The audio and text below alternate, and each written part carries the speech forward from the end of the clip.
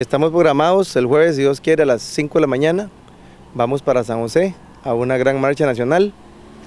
El viernes estaremos a las 8 de la mañana en el Templo Católico Monte Tabor, que queda 100 eh, metros eh, norte de las oficinas de Caja de Ande, en barrio Santa Cecilia. Lunes 11, lunes 18 y lunes 25 estaríamos con huelgas por un día.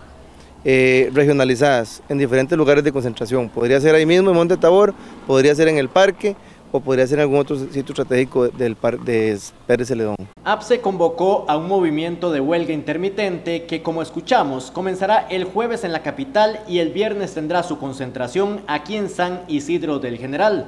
El dirigente de APSE fue claro del por qué la decisión de regresar al movimiento. Ya no podemos más, o sea, ya, ya ahorita en julio empieza a regir un plan fiscal que ya el, pueblo en general se está dando cuenta de que la huelga del año pasado eh, teníamos toda la razón, ya el comercio está sintiendo eh, lo que le va a pasar, por decirlo así, eh, una huelga en la que resentimos mucho la falta de interés y de apoyo del pueblo de Costa Rica y que ahora el pueblo, como ya lo vimos, es el que va a pagar la factura.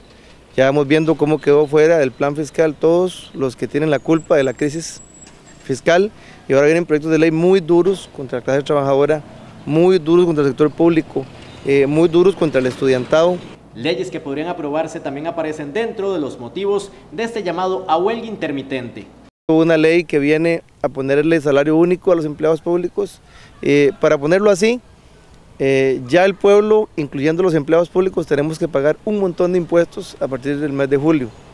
Y no, no estando satisfechos con eso, nos meten una ley de empleo público para bajarnos aún más nuestros salarios.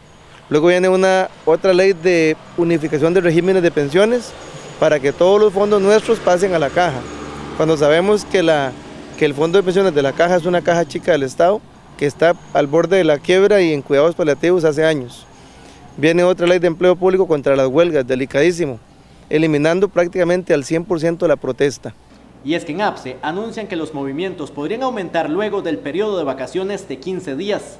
Esto que estamos haciendo es apenas el inicio de una serie de protestas y movilizaciones más que se vendrán haciendo más serias, más duras y, y mucho más agresivas desde el punto de vista, por supuesto, respetando la, la, pasividad que siempre nos ha caracterizado, la no violencia, pero sí de mucha más fuerza. La moción de llamado a huelga fue aprobado en sesión ordinaria del Consejo Nacional de APSE el primero de junio.